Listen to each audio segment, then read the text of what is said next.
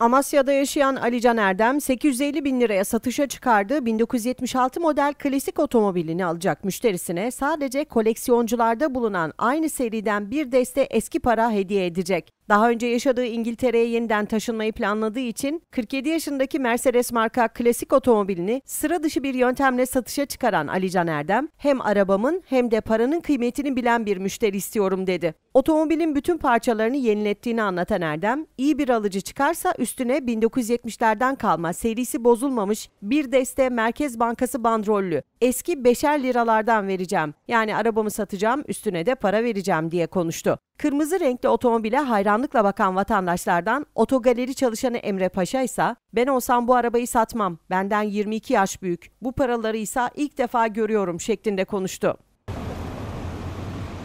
Eski antik arabalarım vardı zaten benim. Satmıştım İngiltere'ye giderken. Her şeyini yeni aldım. Her şeyini sıfırdan topladım arabanın. 230'a 415 kasa. Dik far diyorlar bunlara. Yani tutulan modellerinden biri zaten bu bunların. 850 bin lira istiyorum. Bunu zaten alacak olan arkadaş da bunun meraklısıdır. Şu anda zaten yaptırmaya kalksa bu araba o fiyatlara çıkıyor zaten. İyi bir alıcı çıkarsa üstüne de benim elimde eski 1970'lerden kalan bir deste sıfır 5 TL'ler var.